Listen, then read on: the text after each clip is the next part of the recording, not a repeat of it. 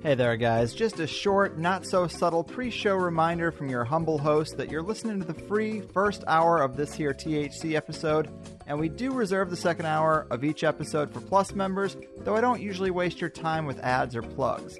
But if you're curious enough to hear more, you can now get a free seven day trial membership by filling out the short form at the bottom of the page on the highersidechats.com. So treat yourself, and maybe, fingers crossed, you'll stick around. If it works for Netflix, it should work for me, right? Now let's get this ride moving.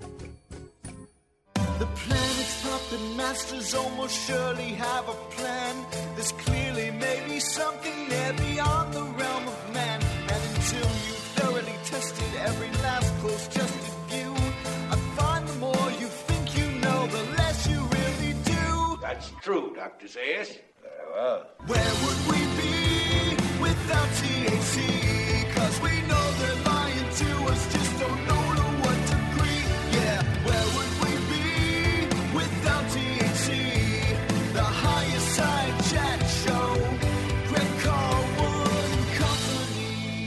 Well, well, well. Welcome, Higherside Chatters. Drinking a little drink, smoking a little smoke from sunny San Diego. I am your humble host, Greg Carlwood. And for the most part, I've stopped prefacing the show so we can get right into the interviews.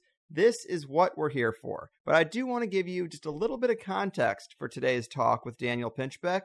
We recorded this interview bright and early on the morning after Election Day, so it hadn't even been confirmed that Trump had won until I woke up, and I was still in disbelief. Maybe I still am. I know the news was fresh for Daniel too. I think he was the first person I even spoke to about it besides my special lady.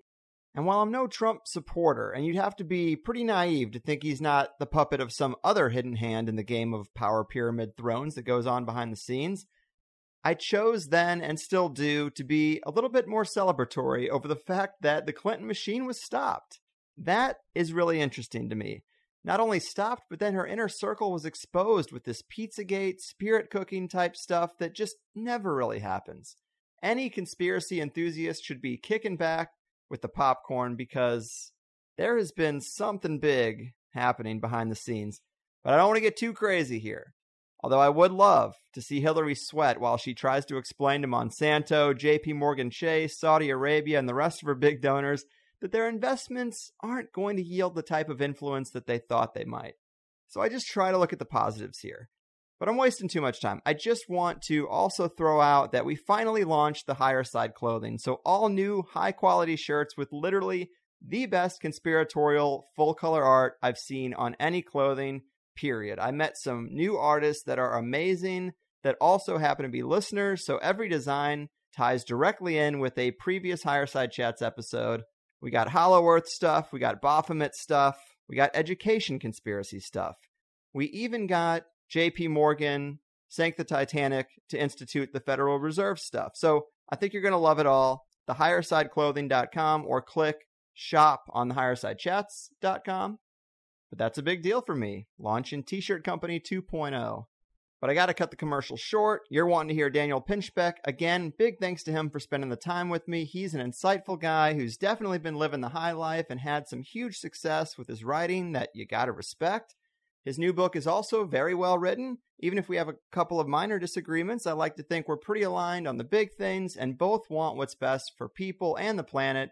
So let's do the damn thing. Play us in, plate scrapers, and we'll be taking a dive into the mind of the great, wise, eighth wonder of the world, Daniel Pinchbeck, on the other side.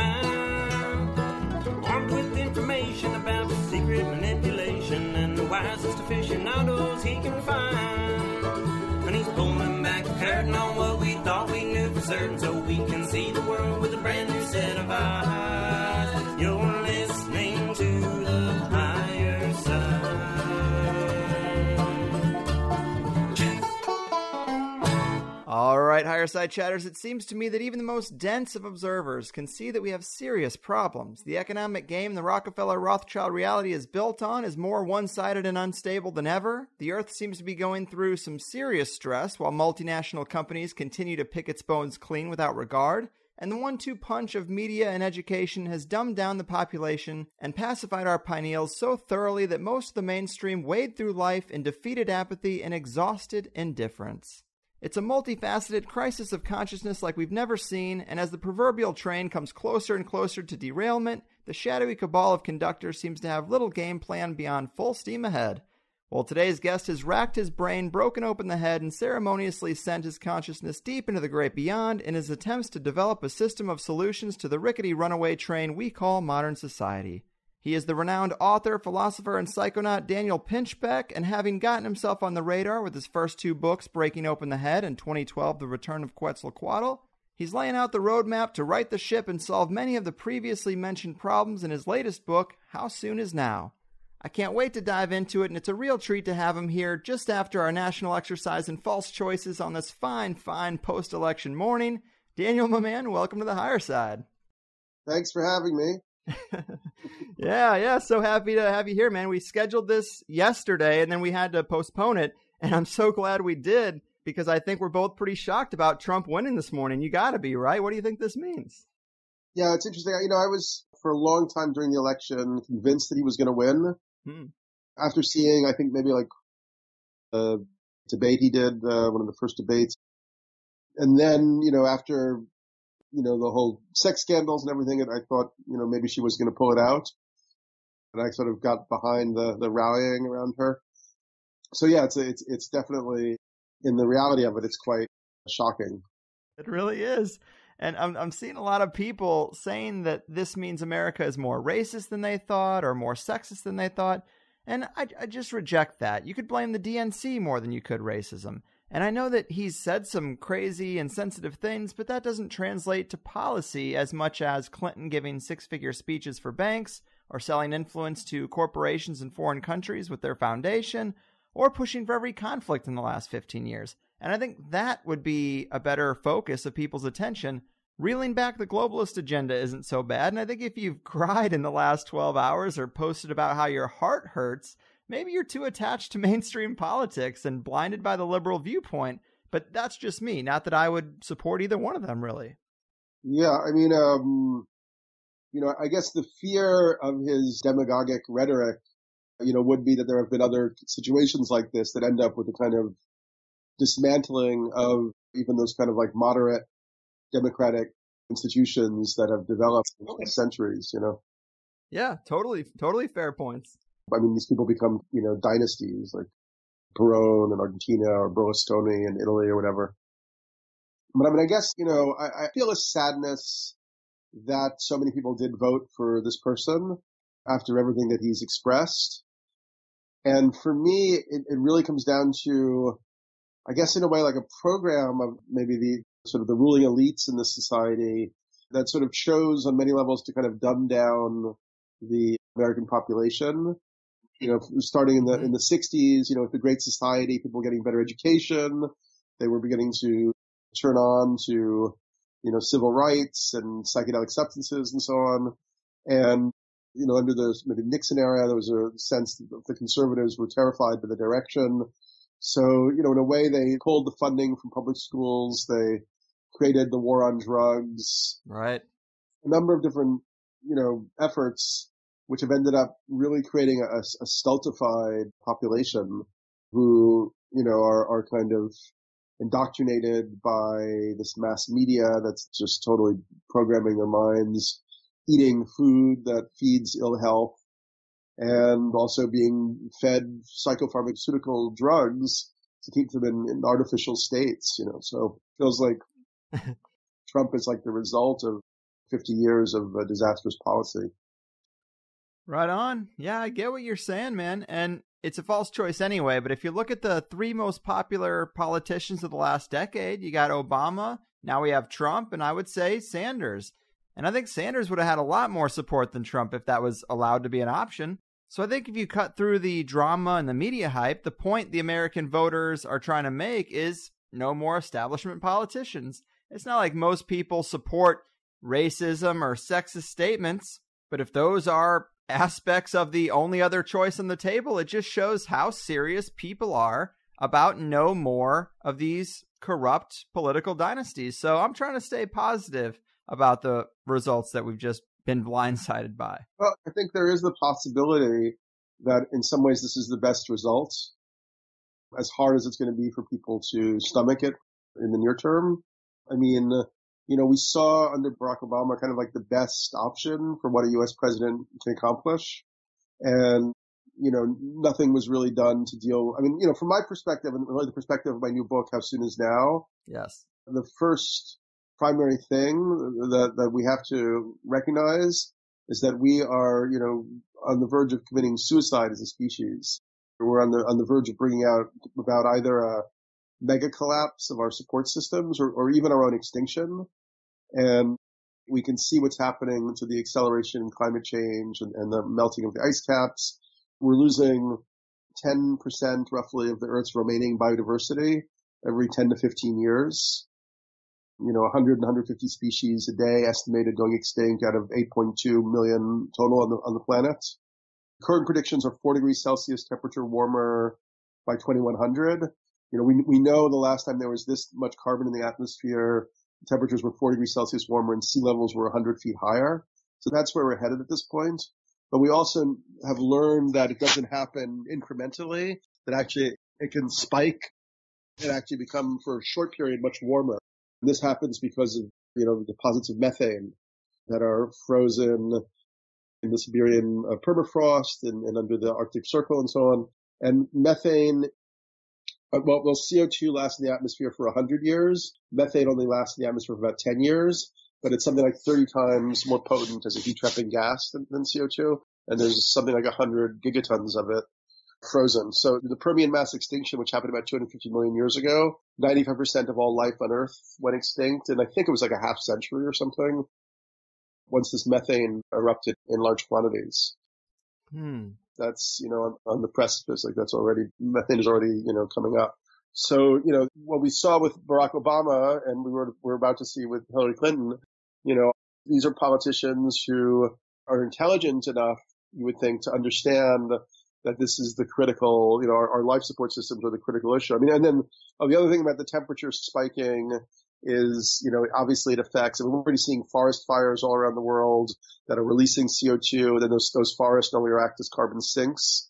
You know, at something like four or five degrees Celsius warmer than now, that has a big impact on the plankton life cycle in the ocean. And while the forests around the world produce about 20% of the oxygen we breathe, the plankton in the ocean produce more than like 50%. So essentially, if we warm to the point where the plankton isn't reproducing and we've gotten rid of our forests because they dry out and burn, we don't have any oxygen left and we suffocate. We asphyxiate. So yeah, even these seemingly, you know, rational and well educated by the system and entrenched in the establishment uh, politicians like, you know, Obama and Clinton have proven themselves totally useless and unable to address the underlying issues that really matter to our collective future. So in that sense, I think that the fact that the neoliberal agenda is finally, you know, perhaps dismantled or, or, or the, the establishment around it through this election could be a good thing. And the possibility that a much more authentic, radical alternative could actually emerge, you know, is something that actually has to happen. And perhaps it can only happen in, you know, an emergency situation. Right. Yeah. And that was going to be one of my first questions for you, really, before I did end up replanning a bit of this this morning. But your book is largely about climate change, and that is probably one of the unfortunate things about a Trump win is that we're probably going to go backwards in some of those areas a bit. Back to coal. This pipeline thing is probably going to go through more fracking and stuff that can really do lasting damage. And I hope we don't end up with more poison and contaminants in drinking water as just one example of what can happen. Yeah. Well, I just wanted to say that first of all, you know, climate change is a little bit of a misnomer. You know, it's a biospheric crisis. I mean, a much more powerful framing is, um, you know, the planetary boundaries model from the Stockholm Resilience Center, where climate change is only a piece of the puzzle that also includes biodiversity loss, ocean acidification. The oceans are 30% more acidic than they were 40 years ago because they absorb a lot of the CO2 that we're, we're emitting. And that's leading to the breakdown of the coral reefs and so on. Atmospheric pollution, you know, ozone depletion and so on yeah, it's just I, I, for some whatever reason I kind of wince when people reduce it to climate change because I feel it's become one of those instant memes that sort of just falls in a kind of dead space in people's psyche almost.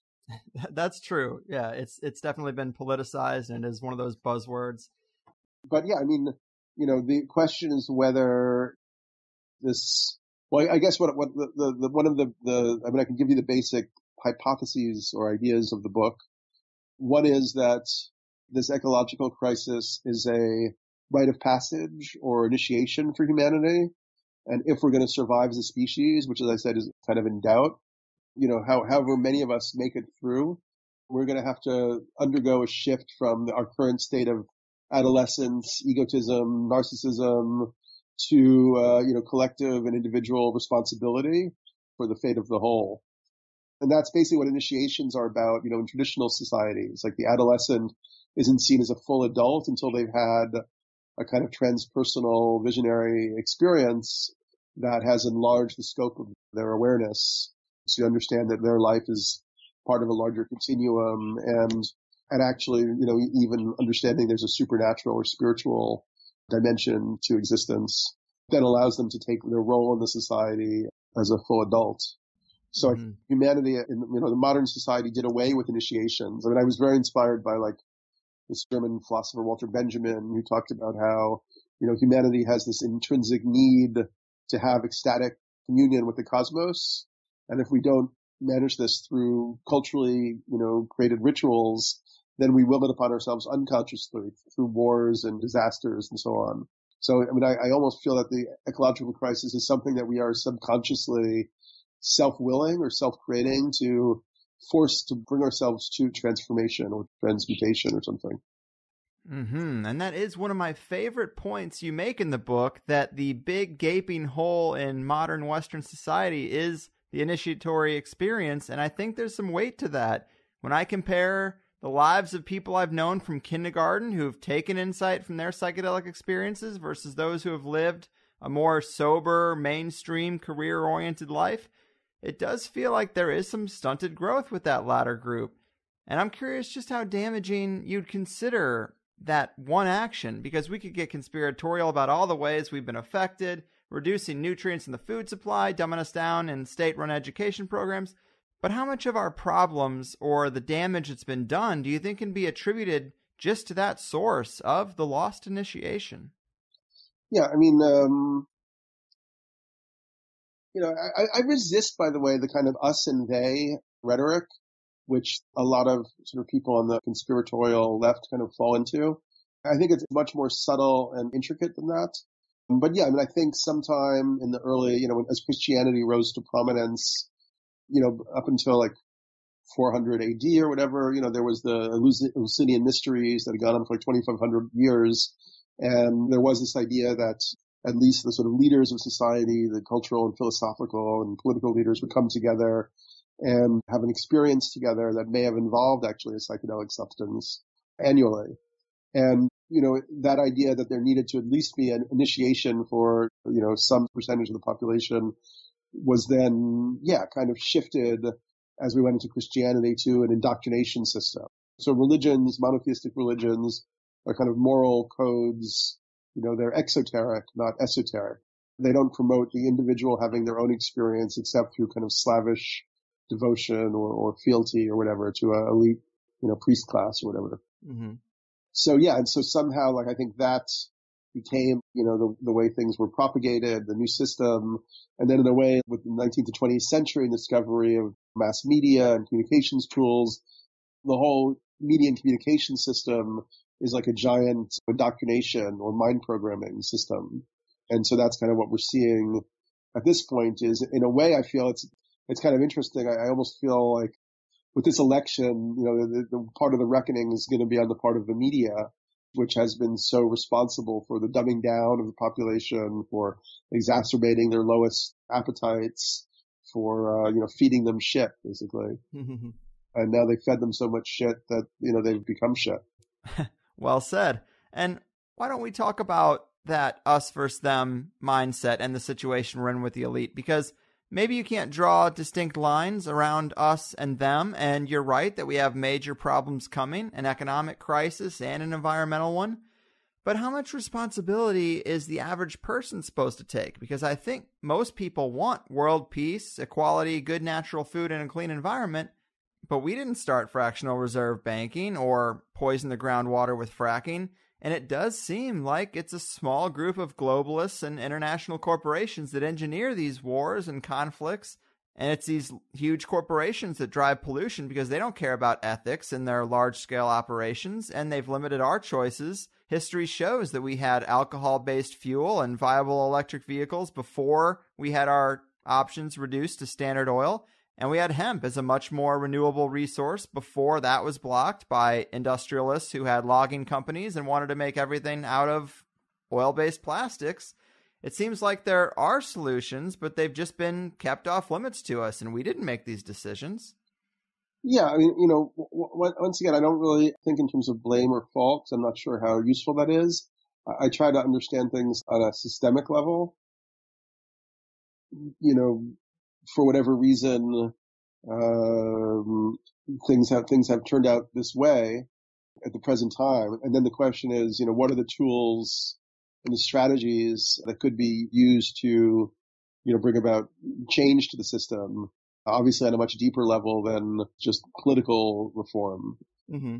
You know, in my new book, I kind of look at it as trying to envision kind of a, a new operating system. It's almost like all of our interlocking institutions, the political, economic, the, the media, entertainment, you know, military, industrial, entertainment complex. It's all like a system. You know, that, that is also like a, it's like, it has its own kind of like frequency and discourse and so on but that operating system for consciousness, you know, for, has kind of reached its endpoint. So then the question is, what's available to us as options for, you know, constructing a new system? Uh, and for me, like obviously the evolution of social technology and communications tools point towards the potential to have a rapid change. I mean, for instance, it's extraordinary that Facebook just started 10 years ago by, you know, college kid. And now it's got over a billion people using it every day. Mm-hmm. You know, it's a tool like that could be used not just for people to display their, you know, photos and, and, you know, make little updates. In theory, you know, we could use our social technologies to supplant or supersede many of the functions of the current political economic superstate. Yeah, and I, I do love the new book and the roadmap you put out, the blueprint you lay out. I'm in such agreement with so many of those things, but and I guess I'm just cynical, and I, you know, I hope that I'm wrong, but I guess my argument is is the problem that we don't have a proper blueprint or roadmap, or is the problem that we're not allowed to change it in some of those key areas that we'd want to? Uh, I mean, I, I, I, felt that we, we first of all needed the, the blueprint or the roadmap. Um, I mean, I felt, you know, my books generally have come out of my own, it's like, it's almost like an inner sense of like discomfort or, or, or the strange sense that they're, they're, they're like, you know, I go into bookstores or look through the media and there's some missing jigsaw puzzle piece, you know, to, that doesn't, that doesn't, doesn't, and does, that, that, that, where there's something important that I feel isn't really being understood properly by me or anyone else. So that was my first book, Breaking Open the Head on psychedelic shamanism. You know, I'd started to have these incredibly uh, amazing visionary experiences through psychedelics and, you know, going to tribal people in Africa and so on. And I felt that there was no, there was nothing that really explained it properly to put all the pieces together of what it could mean in terms of the history of ideas and anthropology and literature and, and so on. So that led me to write Breaking Open the Head. And the second book 2012. Similarly, then having through the research of, Breaking Open the Head, my worldview shifted from just sort of a scientific materialist cynic to recognizing that there are these kind of occult dimensions, the, these shamanic realms, the collective unconscious that Jung talked about. Like I had so many direct experiences of these things. I realized that the Western rational knowledge system was completely defunct in, in certain respects. And yes, that we'd sort of suppressed and repressed indigenous knowledge systems. We had no access to understanding their way of being and, and knowing the nature of reality. So the book was an attempt to kind of heal the knowledge system by finding the juncture points between Western thought, thinkers like Heidegger and Nietzsche and, and Carl Jung and Rudolf Steiner and these indigenous understandings of the nature of, of the world, the nature of reality, and the nature of the time that we're in as being this time of prophetic change. You know, so that's always in the background of my thinking. And so having done that book, then my next sort of question was like having understood maybe a, a different model of the reality that we're in, how does that then apply to the pragmatic, you know, system that has everybody kind of in its thrall? What is at the base of that system and how do we bring about its transcendence to create a world that, you know, works for everybody? I'm very much inspired by people like Buckminster Fuller and his book Utopia or Oblivion, Murray Bookchin, the social ecologist, and uh, even Oscar Wilde's incredible essay, The Soul of Man Under Socialism. Yeah, so that was kind of the point of the new book. And I do think that we need a blueprint. I mean, you know, an, an example, I mean, if we look at Milton Friedman, I don't know if you read Naomi Klein's book, The Shock Doctrine, but Milton Friedman was the lead sort of neoliberal economist who advocated for privatization and so on. And, you know, starting in the 60s or 70s, he was working with a whole group and they realized that, that they wanted to move society in a direction, but to do that was going to require kind of a, um, effort, you know, and so they began to create institutions like think tanks and magazines and, and books and so on. And Milton Friedman basically said at one point that, you know, when a crisis comes, the ideas that get applied are the ones that happen to be lying around. You know, so then 1989 happens, you know, and other things before that, but the Berlin Wall fell and the neoliberal economists rushed into the Soviet Union with solutions, which were privatized state-owned industries, essentially leading to the rise of oligarchies and, and, you know, Putin and so on. So, you know, we can see that we're already in a crisis, low-level crisis to a certain extent, but probably bigger thresholds of crisis are coming. And my idea was that just as the neoliberal economists had put out a plan that could then be applied, kind of, you know, the anarchist, spiritual, you know, eco conscious left also needed to have more of a kind of plan that would go, okay, like this is actually kind of something that we could work together towards. Mm-hmm. And you know, you mentioned indigenous people, and it's amazing that you have that context of actually spending time with them because when talking about changing the system, there is a fundamental debate over the worst aspects of people greed, selfishness, jealousy, one upmanship, rage, all these sorts of things.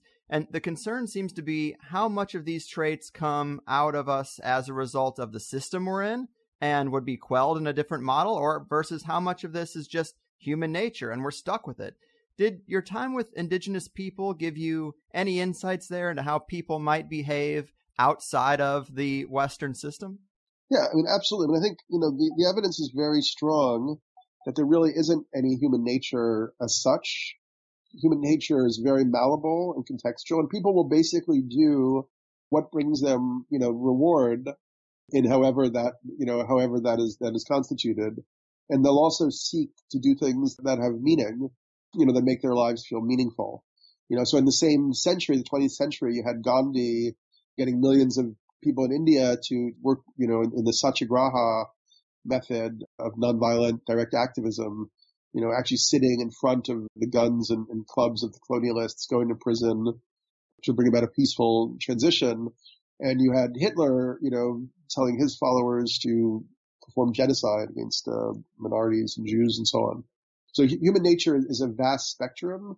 And I think what defines human nature is, yeah, like the context and, you know, what the society values and, and considers meaningful. What one book that I discuss in How Soon Is Now is by Rebecca Solnit. It's called A Paradise Built in Hell. And she went to the aftermath of many big disaster areas. And basically what she recounted was that when these huge crises hit, immediate crises, people actually go into a mode of extreme altruism and, and caring for each other. And suddenly the sort of egocentrism, the separation just disappears and they try to figure out how they can help their neighbor, how they can help their community. And she documents this all around the world. And yeah, so in a way, I think the political economic system, the whole operating system that we're in now artificially exacerbates more negative psychology traits and in a way dampens down our innate altruism and compassion for each other. Absolutely. I definitely agree the system tends to bring out the worst in us, and it's great to look at indigenous cultures or compassion in times of disaster and see that it might not have to be that way. But on the subject of new models, you write in the book about your journey in putting this blueprint together and that it's something you got started on during your time at Burning Man. And Burning Man has a sort of societal structure I hear people discussing quite a lot as a mainstream alternative. Can you tell us a bit about the way Burning Man operates and how viable it is to you as a potential new paradigm? Do you think it could scale up or become something more permanent, maybe? Well, I mean, earlier, early in this conversation, I mentioned the uh, mysteries of Eleusis, Eleusinian mysteries, which were this annual gathering of the kind of society's elite in ancient Greece. I feel in a weird way, Burning Man is like this strange kind of American rediscovery of kind of the center for initiation and mystery. You know, Burning Man has many different aspects and tendencies.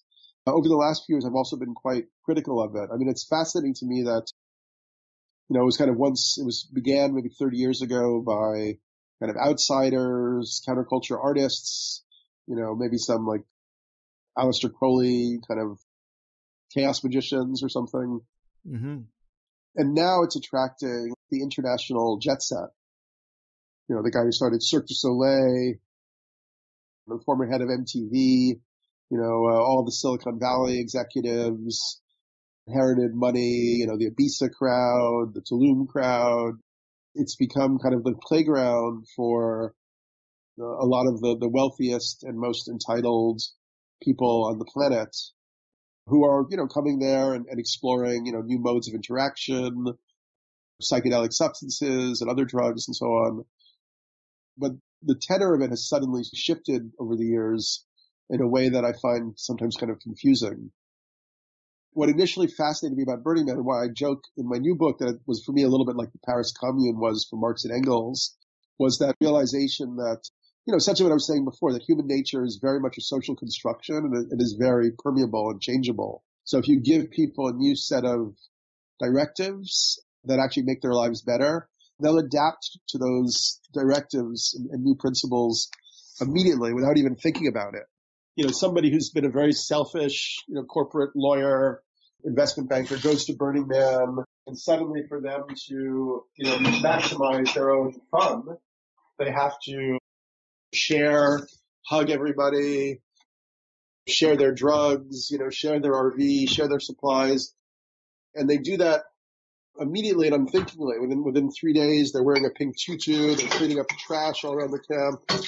You know, so for me, it was like a really powerful sign that that you know, given a system that rewards different behaviors, those are the behaviors that people will adapt immediately and unthinkingly. So I don't think I think we even have the slightest idea how easy it is to change human nature in that sense. Does that make sense? Yeah, yeah. Well said. And you also talk about fame a little bit in the book, kind of being thrust into the limelight after your last book, or the last two books, really. And you talk about trying to influence the influencers, which I think is a really worthy goal. And it's amazing that you'd have that opportunity to do that, you know, moving in some of these Hollywood circles, talking to some of these Silicon Valley tech billionaires and just the people who have, you know, gravitated to you since they've read your previous work. How has that process gone? Do you think you've done some good in influencing those influencers? Um, I don't know. I mean, um, you know, I mean, I, I definitely feel that am- among these elite groups, um, there are a number of like evolving conversations, and there are a lot of people who are, you know, undergoing their own journey of self-exploration and evolution. Um, yeah, I, I, I, I can't say to what extent I've, well, I, mean, I, I guess, you know, I, I know, for instance, that I had a great influence, I, I mean, I would say, on Russell Brand. Hmm. You know, because, yeah, he sought me out after he saw the documentary that I made uh, after my 2012 book. And I think he was looking for a way to put together kind of the spiritual development he was undergoing and the kind of left-wing political impulse that he had. And I think that my work helped him, yeah, kind of integrate political left ideas, spirituality, and ecology. He, has, he wrote a few chapters about me in his book Revolution. And we had a series of discussions, and then he also started this thing called the Trews. He was doing these daily video broadcasts, and in some ways, I felt that you know he took ideas that I had, and, and maybe other people also had, and he was like this vast human megaphone because of his you know celebrity and charisma. He, he was suddenly able to get those ideas out to millions of people, and actually, it was quite amazing to see the impact that just him alone doing videos on his own in his bathroom in, in his home, you know, where we're creating these ripples throughout English society. Yeah, I mean, it's definitely important to spread those positive ideas to the people who can amplify the message. And you also write about it just seems like you've also had some really fun experiences, some real uh, bucket list type of things. One I thought was pretty amazing is uh, chartering a helicopter with Sting and his family over crop circles in England looking for extraterrestrials. That sounds uh, pretty great. yeah, well, I mean, in the in the 2012 book, one of the uh, subjects that I focused on and actually took seriously was the uh, crop circles. I, mean, I found myself in like an interesting. Um, I have you know no kind of institutional support behind me. I'm not, I'm not beholden to any like, you know, academic institution or whatever. So, I mean, after breaking open the head, when I explored, you know, psychedelics, which at that point, in that book came out in 2002, psychedelics were still totally suppressed and ridiculed in the mainstream culture, really derided. You know, you couldn't talk about them seriously, you know, in, in the media circles that I was part of in New York. And, you know, realizing, you know, discovering that they were incredibly important catalytic agents for self-discovery and so on. Then seeing the gap between what our society had to say about them and, and the reality made me then be willing to question almost everything that our society says is true or holds dear. And while I was, you know, sort of looking around for maybe other correlates of the psychedelic experience uh, in the physical world, I discovered that the crop circle phenomenon was happening. And ended up spending a whole summer in, in England, I mean, 2003, I think it was, researching them in depth and, and going to all the new ones that appeared and so on. And, uh, yeah, I probably wrote about 80 or 100 pages about them in the 2012 book. And, you know, in, the end, I, I, do actually think that it's, well, I, I guess I would say that I believe that the crop circles are, you know, some of them are communication from a non-human form of consciousness or galactic level of intelligence that is giving us, you know, some interesting messages and ideas. Hell yeah, man. Absolutely. And that gets right into one of the weirder uh, aspects and probably my favorite line in your new book is I have been primarily focused on the material and tangible aspects of our plight, but I think we should consider also the occult or invisible forces that may be involved. Very provocative, and the influence of unseen forces is one of my favorite things to ponder outside of crop circles, what are your thoughts on the extent of this otherworldly influence? Uh, in what sense? What do you mean? Well, a lot of people in the mainstream doubt it exists at all. And then you have some people, some authors like Peter Levenda, who think that it actually plays a huge role, that there's probably spiritual forces that have little puppet strings attached to us, creating synchronicities here and there. And so there's a sliding scale between not believing it exists at all and thinking that it has quite a bit of influence over our 3D reality. I wonder where you lie on that spectrum. Um, yeah, I mean, well, I guess, um, you know, it, I mean, I, I, guess in a way I, am sort of um, like a Vedantaist, like Eastern mysticism, which kind of ultimately argues that there's sort of one consciousness underlying everything that we experience as separate phenomena, mm-hmm. constructing the illusion of the material world in order to explore its infinite, you know, creative capacities and, and, you know, abilities and so on. And there also seems to be many different dimensions of space-time. According to some physicists, there's like 10 of them. And the fourth dimension that we're in is where you can have, you know, physicalized uh, materiality. We don't really know how some type of separate entity might exist in a higher dimension. But assuming it can, then yeah, I mean, the, those higher dimensional entities could definitely be, you know, playing with our time and space, you know, rearranging it for all we know, because they could pass through the past as, as well as the future. You know, so what we're experiencing as this sort of plotting, you know, linear kind of thing, where we're like these ping pong balls being like buffeted through a wind tunnel. From a higher dimension, they can see the whole wind tunnel. You know, they can see the whole progression of what's happening. hmm So yeah, I mean, I, I think it's quite, you know, likely that there are these other occult powers. I mean, I, I really love the work of uh, Rudolf Steiner, who's an anthroposophist. He was a visionary thinker who, when he was young, was able to see these other dimensions, what's called the Akashic record. And he tried to elaborate like a whole spiritual cosmology with these different forces and powers. And, you know, I think, you know, you, you could look at all these different attempts to figure out occult systems. You know, they're just ways of articulation. It's not like they're, they're necessarily what is truer than the, or less true. I mean, they're, they're like interfaces, you know, of language and, and thought that help us to make sense of what might be happening. And Steiner is, one of the people that I found very valuable for that. Yeah, fair point.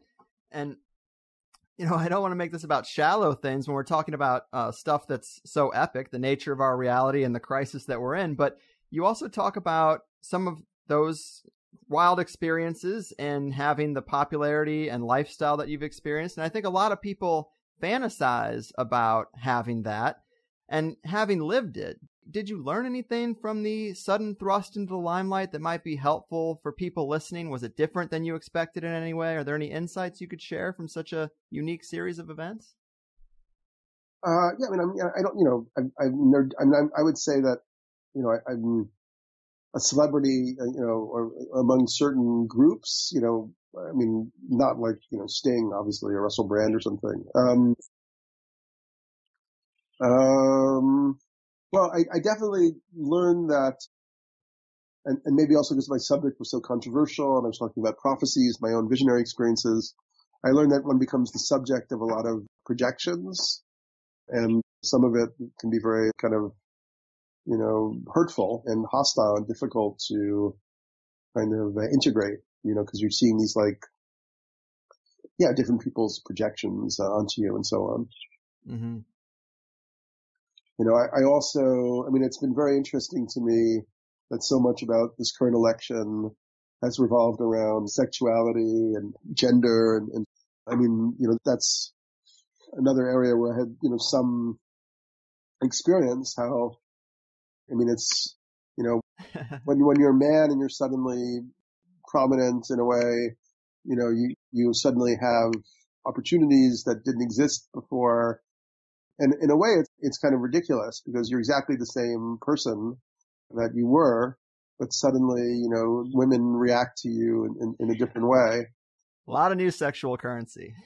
Yeah. And, uh, you know, so some of the book is a kind of rumination on that. And, you know, I, I feel in some ways I had my own immaturities and kind of, you know, un, unmet desires, dissatisfactions that sort of came out once I had opportunities I didn't have before. So, you know, it's interesting for me having had that experience, also getting some flack for it and then seeing, you know, what's happening, what happened in this campaign with, you know, obviously Trump, Bill Clinton in the, in the background and his Yeah. escapades, Anthony Weiner, you know, and, and, and, and Roger Ailes, who was the former head of Fox, who uh, just got taken down. I mean, you know, it, it's, it, it's still a very intricate and delicate, you know, cultural area.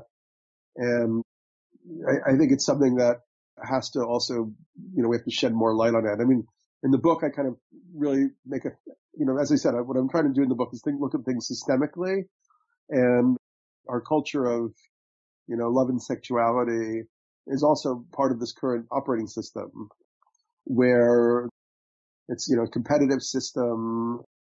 You know, I think, I think women are forced into kind of operating with a lot of anxiety and, and fear because, you know, if they're going to have children, they need to have a monogamous, you know, more or less family unit for most of their adult lives, or they're kind of left with this huge burden of childcare and so on. So in the book, I look at some other models, like mainly this community in Portugal called Tamera, which is basically a community that's seeking to, you know, create a more peaceful world. And basically they believe that finding peace between the genders and, in, in love and sexuality is key to, you know, creating peace on earth. And they've actually developed kind of rigorous alternative social design that allows for, you know, non-possessive, transparent relationships that are founded in, in trust. Hmm. Yeah, and maybe we can get into that a little bit deeper because you do talk about things in the book like evolving beyond the nuclear family model, and I think that's a pretty radical proposition for a lot of people. I think they might consider that to be a bit out there. But there are other ways of doing things, other ways to raise children and form relationships. Have you seen any other models in effect when it comes to the tribes you have spent a little time with? I mean, I'm sure you've seen some stuff, but have you noticed any differences in their relationships or child rearing and the effects on their greater society that we could contrast with how Westerners typically do things? Uh, it's actually interesting. In the, in the tribal groups that I visited, and first of all, I'm not an anthropologist. It's not like I spent like months and months, like really investigating, you know, how they handle love and sexuality or whatever. I, mean, I was doing pretty short visits. But, you know, I, I would say still in those cultures, for whatever reason, the, the you know, the, the, the, the well, I can't even really say that. I, I don't have enough insight to be honest. I mean, the Kogi and the Arhuaco who I uh, worked with, there definitely were, you know, some seemed like very settled couples. You know, the, the elders were in family units. If you read the book Sex at Dawn, a very popular book on the subject, they kind of review different indigenous cultures around the world who do have radically different practices. You know, some that guarantee sexual freedom to young girls and young women and so on, in China and so on.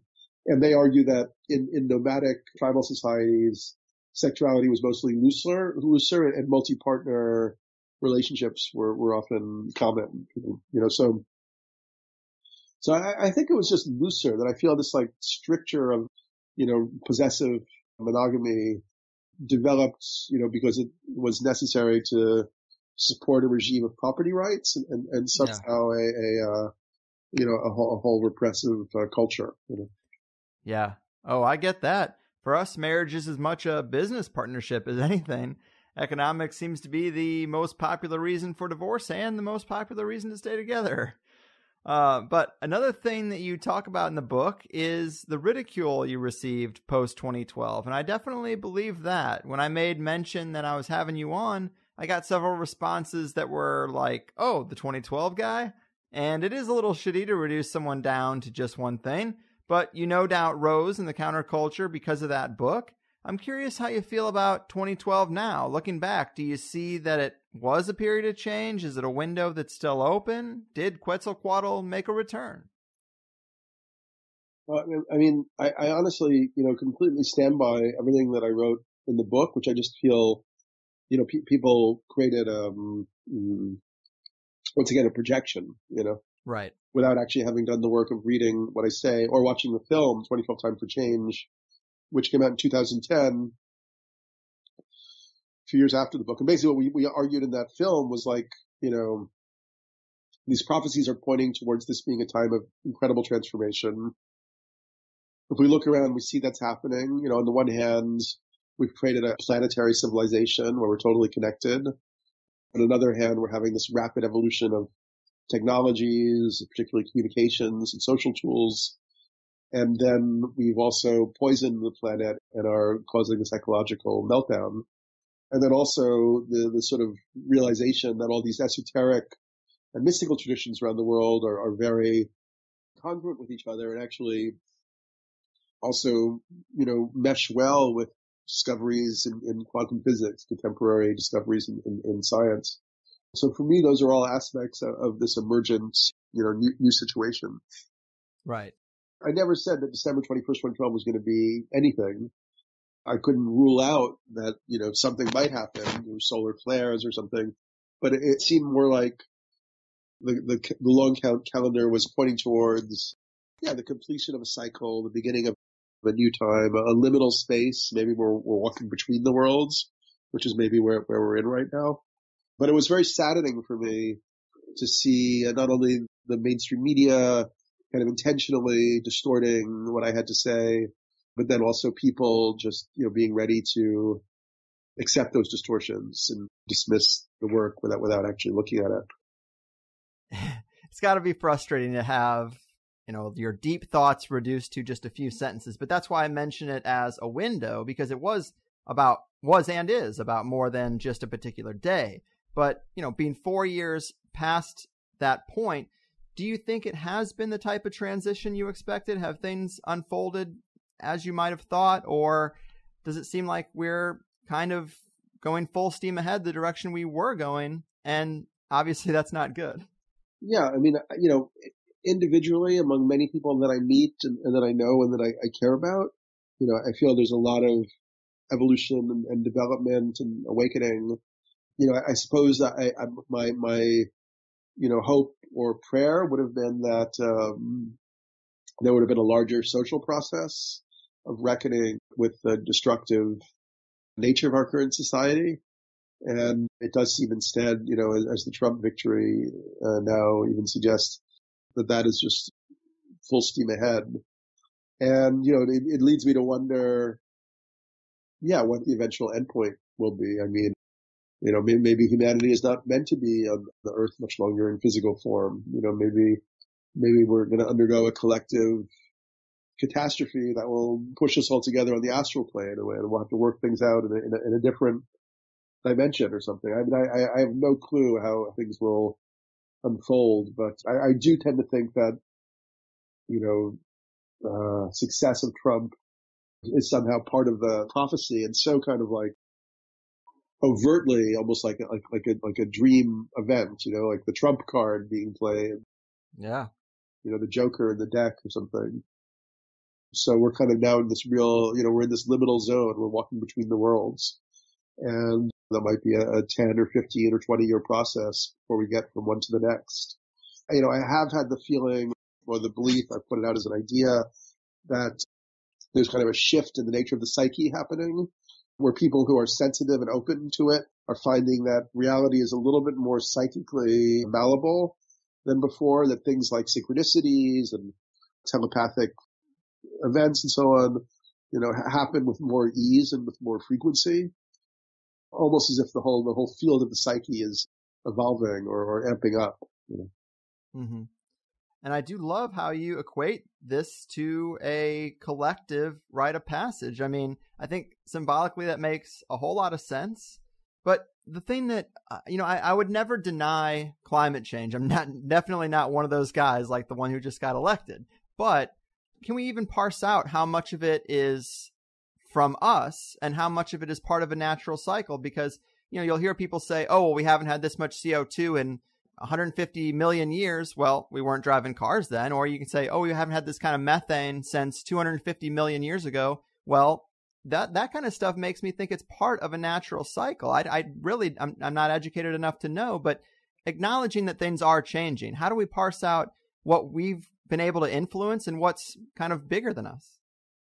Yeah, well, so there, you know, I, I definitely feel. I mean, that, that's that's you know, I mean, there's a few levels there. I mean, um, you know, on one level, there there are people, you know, uh, sort of on, on the leftist or the conspiratorial, you know, side who are dubious about the impacts we're having on the planet. And having really looked into it and, you know, being open to conspiratorial ideas and so on, but, you know, having studied as much as I could and it, it feels pretty ironclad.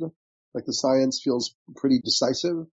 You know, parts per million of CO2 in the atmosphere equate to a heat trapping effect that you know, changes conditions. That, that we're putting a, a million tons of CO2 into the atmosphere every hour through our industries and planes and cars.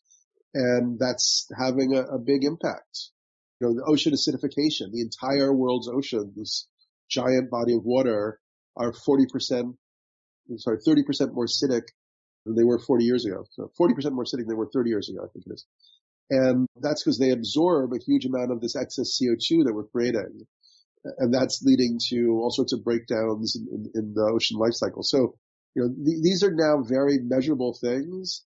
And I find it quite strange that people who are on like this kind of conspiratorial progressive left have this sort of cryptic, almost desire to not believe anything in the mainstream story and, and to dismiss this stuff in a way.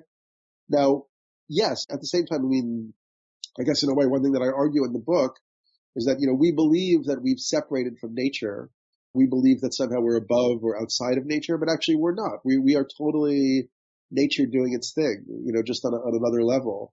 And so, you know, we look around the whole solar system and there seems to be different changes taking place, like planets developing atmospheres and, you know, I think Jupiter lost one of its spots and so on. I mean, there, you know, one, one theory according to this Russian cosmophysicist Dmitriev is that the whole solar system is going through an energetic uh, transition to a higher energy state.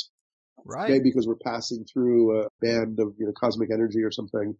And it may be that this, you know, rapid industrialization, the super push towards hyper technologies is just how humans are transducing this larger frequency effect that's happening in the cosmos around us.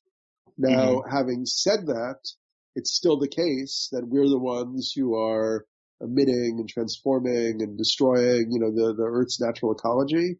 And if we do want to have a tenure on this planet, we have to stop doing that. We have to figure out how we use our intellect and our technical capacities to create a different system, a regenerative uh, system that actually replenishes the biodiversity and the strength of the Earth's systems. So mm-hmm. I don't think there's a contradiction there. It's just, it's like what I, what I really looked into in the 2012 book is, you know, when I think about what, you know, if I say there's a change of consciousness or like, you know, the emergence of a new consciousness, the, the subtle aspect of it is kind of the ability to handle both sides of a paradox or contradiction without collapsing too diametrically into one or the other. You know, holding the space of paradox is part of that new consciousness. So recognizing that, you know, as much as the ecological crisis is totally a, a man-made thing, you know, it's also part of a, of a larger natural and cosmic process. I would see as one of those contradictions that we can dissolve. Right on. And I wouldn't argue the data of change in the climate and environment is ironclad, but I am one of those people who's skeptical of the interpretation. But let's say, for the sake of argument, that it is all man-made. What, what, you, what, are you, what are you skeptical of? I'm skeptical of anything that's really this politicized. But I've had uh, one guest, Randall Carlson, who is a, a pal of Graham Hancock's, and he's very blunt about the fact that the International Tribunal on Climate Change, when it was put together, that think tank, they were given the mandate to say, find some science that supports the idea that this is all man made. And so they latched on to the CO2 argument. And this is just the impressions from Randall Carlson, who is a, a smarter guy than me, but uh, I do think there's the possibility to twist science and, and do things like this carbon tax program. I think that's uh, kind of a Western play to keep the other nations from catching up to us quite as well because now that we've had the benefits of doing whatever the hell you want to the environment, now we're going to cap some things to keep you in a lower place. I think those are possibilities. I'm I'm open minded to a lot of the stuff, but I, I, would separate out. I think that we have to be, you know, once again, you know, if we're going to get out of this disaster that we're in, we, we actually have to learn how to think clearly, or more clearly than we've been able to think up till now. And and for me, there was a little bit of a conflation there. Of like, uh, you know, there's climate science on the one hand, and then, there's carbon taxation, which is a political method or a political economic technique to try to deal with what we've, you know, unleashed. Mm-hmm. In, in, a way, I mean, my understanding of the carbon taxation, and I'm not an expert on it, is that, you know, we would be, um, you know, by, by taxing carbon, it would ultimately have an impact. It would make companies more careful in their use of it, more willing to pay to, to store it or to uh, create carbon sinks and so on. You know, if it worked properly, it would have a benefit for the developing world. However, um, you know, it's critiqued because essentially within this political economic system, everything ultimately becomes about growth and about profit. So if you create a market for CO2 in a way that could have a perverse impact where it actually values CO2 pollution and, and rather than helping to reduce it, it, it, almost just allows it to perpetuate as people buy these, these you know, create these perverse uh, subsidies and so on. Mm-hmm.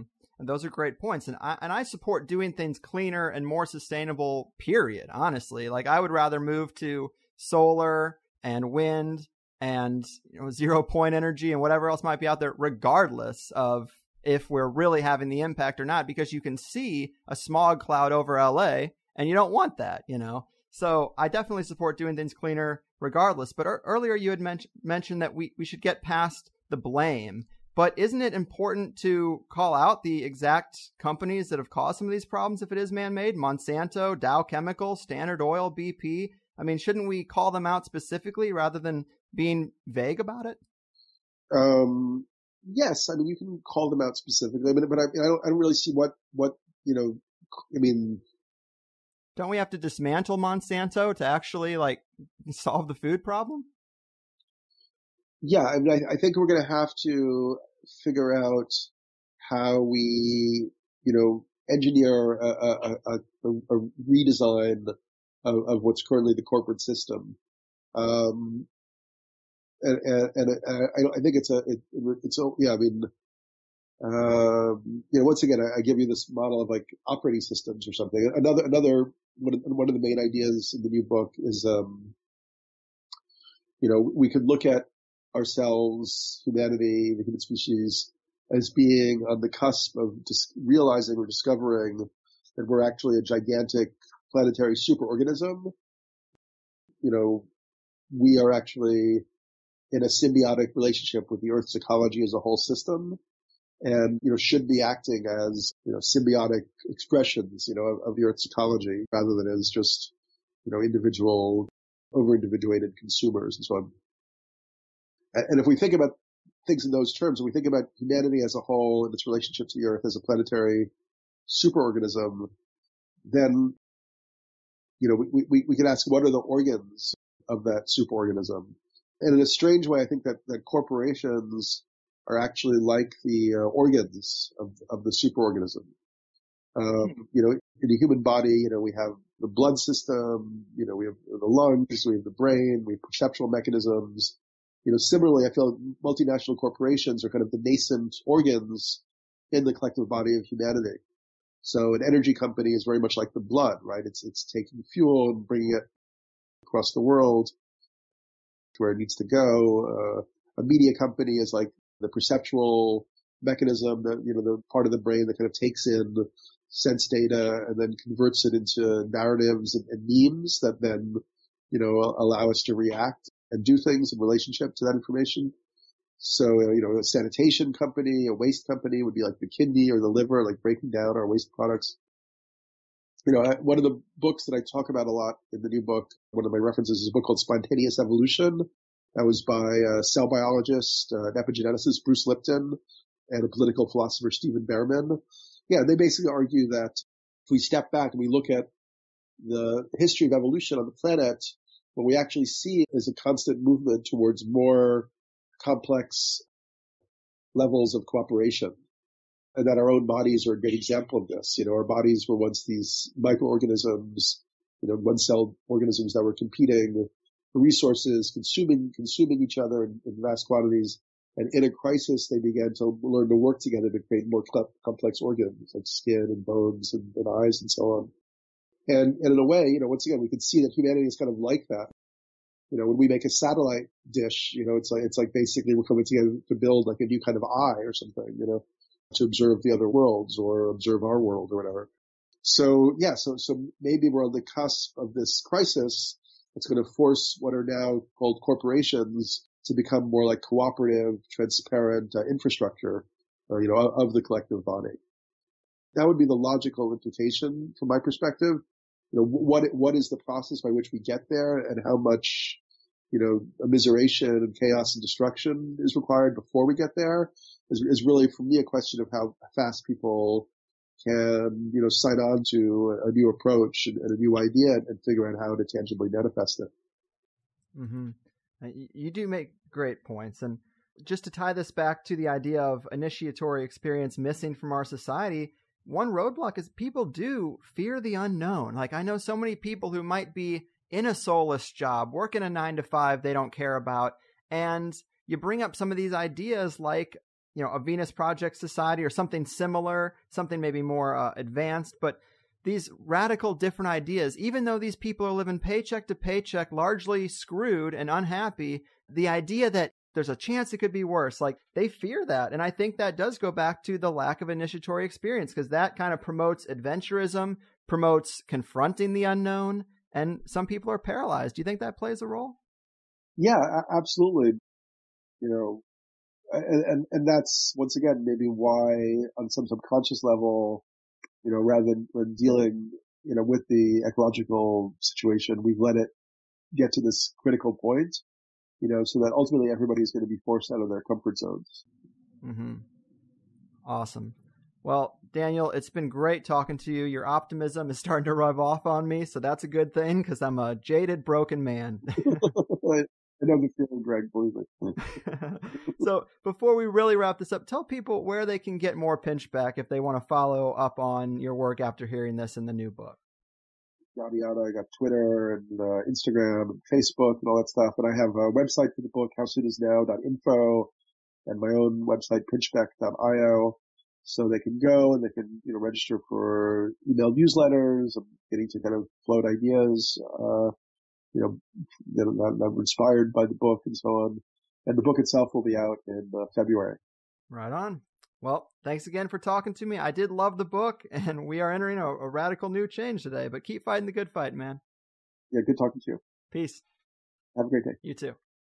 Sweet Jesus, people. Daniel Pinchbeck in the house. I gotta say, I do have mixed feelings about this one. I feel a little guilty or bad for being so combative everyone has their own opinions, and I should be able to have mine, but I felt like I drew more out of his book that I took issue with and focused on that rather than what I liked about it. And that's kind of shitty. A lot of times I give people a pass on our disagreements and I focus on where we're aligned. These people spend a lot of time and effort writing books. I'm not that disciplined. And then they're kind enough to come on my show when a guy like Daniel can get on all kinds of shows. He gives me two hours of his time, and I don't know. There's a little bit of a bad taste in my mouth. In my defense, there, though, Daniel's people sought me out and asked if he could come on the show, and I agreed. So it's not like I sought him out to start a fight. but there is a dance to this semi press circuit, if you could call it that. These aren't supposed to be commercials, but to the guests, they kind of are. And I was in such a weird headspace, too, with the election results being so fresh. And again, I don't want anyone to interpret my comments as excitement over Trump winning. It's more excitement over the unexpected result, more excitement over Hillary losing, you know? Not only losing, but her whole network's biggest secrets were leaked by somebody. Someone in the shadows sort of played their trump card, no pun intended, that to me is exciting. The media's got everybody focused on how Trump emboldens racists. But six months ago, many of us would have said the most pressing issue was stopping the Trans Pacific Partnership, and it stopped. I mean, holy shit, right? Can we focus on that instead of a small percentage of racists who have projected their ideas onto this guy? Plus, he's already reeling back on so much shit. He's not going after Clinton. That was like his big thing lock her up, lock her up, special prosecutor, and all that. He's walked back his complete repeal of Obamacare. Instead, he's talking about tweaking it, which I actually think is fine. The cost of medical coverage in this country is insane. Of course, you don't want the government limiting your options to just the companies that they deal with and all that stuff, but some's got to be done. My point is, there's a lot of hyperbole on the campaign trail, and this is what always happens. It comes back to the center, so don't be fooled. All this paranoia over this little issue or that one, just relax until something actually happens. Don't get yourself all worked up. Although his cabinet picks are supremely shitty. But hey, it's a false choice between two shitty candidates. I'm trying to find silver lining. And I hear a lot of, well, that's easy for this cis white male to say relax. What about Muslim Americans who are scared their family overseas isn't going to be able to visit? Or the Mexican family who's afraid deportation is going to split them up? Well, first of all, if you're a Muslim American with family in the Middle East, Hillary Clinton as president is the last thing you want. She's the Middle East meddler. She's the war hawk. Yeah, she'll smile and be polite while she drone strikes the shit out of your homeland. Trump may be rude and insensitive, but he talks like an isolationist. He talks like a nationalist who wants to focus on America, be left the fuck alone, and leave other people the fuck alone too.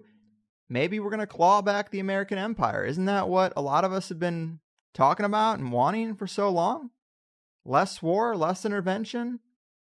I mean, that's kind of what we got, or, or what we voted for. Who knows what we're going to get? We know a lot of those choices are off the table. But that's what I would say to a Muslim family, though. you don't want Clinton.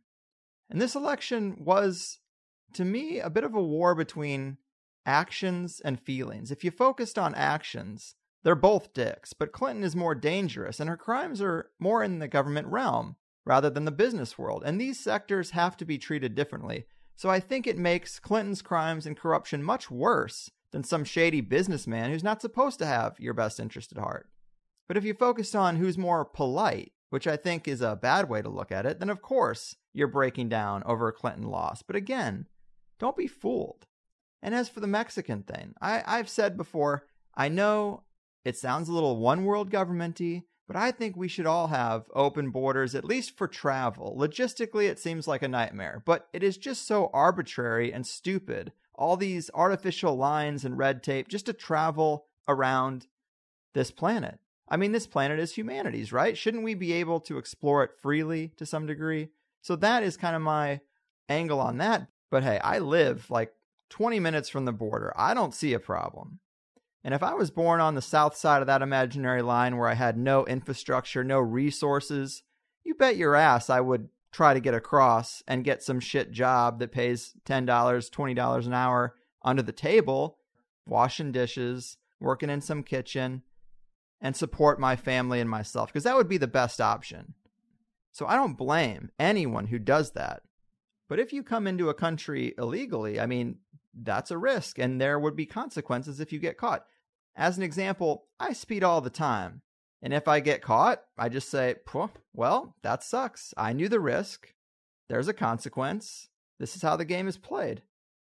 It sucks. I think we should take any money and energy we put into securing our border and probably help Mexico make their society, government more fair, give them a little better infrastructure so that people don't need to come here. They don't want to come here. It's all driven by economics. And then you got people saying they want to move to Canada because of such a racist policy. But good luck, because Canada has the type of immigration laws that you're running from in those cases. And when you look at the World Happiness Index, it's those countries like Iceland, Sweden, Norway that have the best quality of life. And they also have really strict immigration because their, their system has to be self contained. I get all that. Maybe I'm sounding very conventional, but there's just a lot of irrational talk going around right now that the media is just leading people around by the nose. But in a nutshell, I wish we all had small local governments everywhere, but free travel. And I know you can't really have everyone flocking to nice areas or the system with the best benefits, but I still want to be able to go to China as easy as I can go to Florida it's not so much about ruling everybody under one government umbrella. It's just more about being a little less paranoid and a little more friendly. And maybe I don't know what I'm talking about, but no corporations. That's another one. What a stance, huh? Can anybody find a flaw with that? If every company had to have an owner who was accountable for their company and their actions, wouldn't that solve a lot of problems? Would it create problems that I'm not seeing? Probably. I don't know. But that was another issue I had with Daniel is that he says we need to make these changes to save the planet, and he doesn't see how blame is useful. Well, we have to be honest about how we got here and who did it and who is going to have to be held accountable or at least not allowed to continue fucking things up, right? Here's a decent example the California drought. Regular people are being told not to water their gardens, actually being fined over their water usage. Meanwhile, no restrictions whatsoever on big agro on these huge corporate farms all over the state. Reports were showing that they were using like 75% of the state water. Well, what people use is a fraction of that. But we're getting the blame and we're getting the fines. And then Nestle is trying to privatize water. Turns out they were stealing water when their permit expired like a decade ago. So if we put the blame where it belongs and the fines and restrictions where they belong, we could do much more to fix the problems, in my opinion. You can change your light bulbs out all day, take shorter showers all day. It's a symbolic gesture compared to the real damage that's being done by these giant mega international corps. I do appreciate Daniel's dedication to making a plan, a blueprint for a better world. He's a positive guy, but that assumes the problem is that we don't have a plan. And I think the problem is we're not allowed to act on plans and ideas and technologies that have been there for decades. So I feel like there's a little subtle misdirection there. Probably unintentional, but I was a bit of a stickler on those points because I think they're important if we're being serious about real change. We want the same things, me and Daniel. We just slightly disagree on how to get there and what is most important along the way. That's all right. But the system will always blame the people. When it's usually big corporations, captained by the nefarious elite, that have the resources to do that real damage. Just like they try to say it's all the people on welfare sinking the economy, when really, it's the goddamn fractional reserve system, the debt based system of rule that has us all chasing green paper and uses poverty as a weapon. But it's always about blaming the people instead of looking at the real mechanisms that are kicking us in the collective dick. Are you and I cutting down the rainforest? Are we dumping millions of gallons of oil in the Gulf of Mexico? But hey, I'm young and angry and cynical and probably naive. And maybe Daniel is just a little more evolved, zen, and forward thinking than me. Who's to say? But ultimately, I did enjoy his book. Even reading things we might disagree with is a great thing. And I do love his input in the realm of psychedelics and the lack of the Western initiation. I am on that page for sure. So do check it out if you're interested, or hit Daniel up and tell him you liked the show and it was worth his time and he made great points. I gotta say, Russell Brand wrote his intro, Sting wrote his foreword, so he knows some wheelers and dealers who have a lot more respect for his opinions than they do mine. of course, in the Plus show, we got deeper into this stuff. If you liked the first free hour, sign up for the second if you agree with my contentions here. Also, the highersideclothing.com new amazing shirts with artwork based on episodes of this show. I'm willing to bet we have the best, most fashionable Hollow Earth shirt on the goddamn planet. And maybe the only JP Morgan sank the Titanic to institute the Federal Reserve shirt and an amazing Archon design and nine other ones. There's a goddamn dozen of them. The. Check it out. So that's it. I'm going to stop rambling. I'm probably showing my ignorance, and you really can't solve the world's problems in a simple five minute wrap up to a podcast. And my opinion only matters so much on this show typically. Usually it's about absorbing the perspectives of different people, and I hope some of us did that today. Thanks to Daniel for being here. I, I think I could also hear in his voice that I, I'm not sure he felt that great. So maybe that was part of the thing too. Either way, enough of my qualifying. Jesus. I hope you were entertained and enlightened, and I will see you next time. I've done my part. Your move, humanity. Your fucking Lucid dreams are so vivid, cause you go to bed at 7 and your brain comes alive, cause you hate your 9 to 5. You wake up with a dread and make sure your cats are fed. Did your brain talk to a ghost who moved your coffee and your toast as you listen to the higher side chats? You get to your desk and your boss says it's a mess and your soul slowly goes to a place where nothing grows. When you think he's not around, you insert a SETI sound. The OM says turn it down and you say it's just the higher side chats. Oh, do you think you'll be invited to Bohemia Grove, to a Bilderberg Club? Oh, do you think you'll be invited? By a Rothschild to a party on a submarine. Diving down to the center of the earth, to the Marianas Trench, your teeth begin to clench from the sulphurous stench. The mask you're given doesn't fit, cause you're not one of them. Starting today, you'll make plans to get away. There's no one to hold you down, and the what ifs start to drown. Then you wake to the glare of a cold fluorescent stare, and the light winks at you, cause its life is almost through, but it's holding on to quit time just like you. It's time for the higher side chats.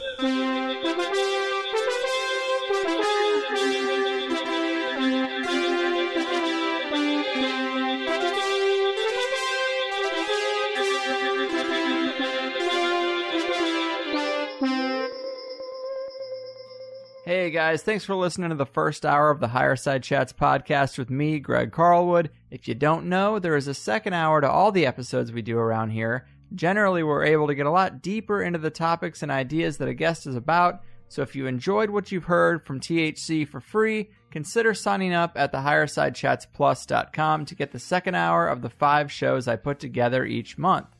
I never really wanted to be a paid subscriber podcast, but I really hate the idea of spending airtime promoting some product that's completely unrelated and telling you the best way to support the show is to buy an audiobook or new underwear by mail or something crazy like that. So instead, if you like the show, double your time with it for 5 bucks a month and let's cut out all the other shit. It's half the price of a movie ticket and you get at least an extra 5 hours of show a month.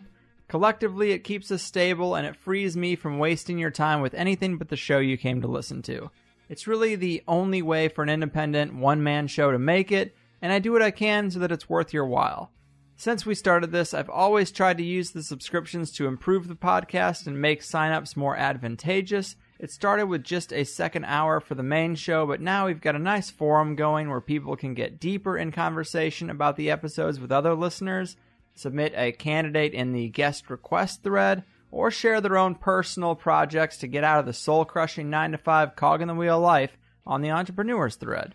The forum and the plus comments are always the first places I try to go for listener engagement, but it does get harder as the show gets more popular. Because of that, there's also a direct messaging feature that you can use to reach me through the plus site also.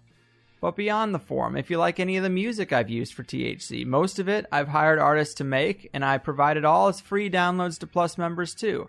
So if you like a particular song you've heard close the show out recently, come get the MP3. I should also mention that if you don't like the idea of paying $5 recurring every month, I get that. You can buy three months, six months, or a year up front and just be done with it. I have plenty of listeners who send checks and money orders to the P.O. Box too.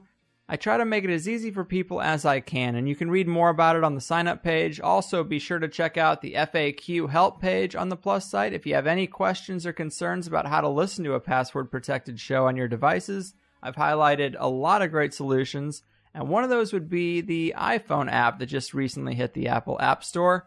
A super kind and talented listener made it for us, and you can use it to stream or download either the free or the Plus show.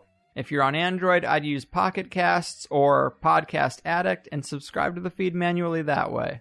I also try to throw in occasional bonus shows or Q&A shows, and I've got a few other weird ideas I might get to try out soon, but I give you all I can for 5 bucks, and I hope you'll at least give it a shot if you've listened to a few free shows and you find them unique or valuable. I know there's a lot of podcasts out there, and I'm just one of them. But if you have any questions, concerns, or comments about any of this, please get in touch with us at the Higherside Chats team at gmail.com. I also wanted to plug the Higherside newsletter I'm going to be putting out totally free for anyone who wants to sign up at the main internet website for the show, thehighersidechats.com. You can also get on that email list through the Higherside Chats Facebook page. There's a button there as well. But the reason I'm doing this is because I get tons and tons of emails after a show goes up asking me about how I feel about a particular guest or topic, and the wrap up isn't always the best place to do that, especially if I have anything negative to say. Sometimes the dust needs to settle, sometimes I need to hear feedback from you guys first. There are a lot of factors, but I usually have something to communicate to you, and I just don't get to do it.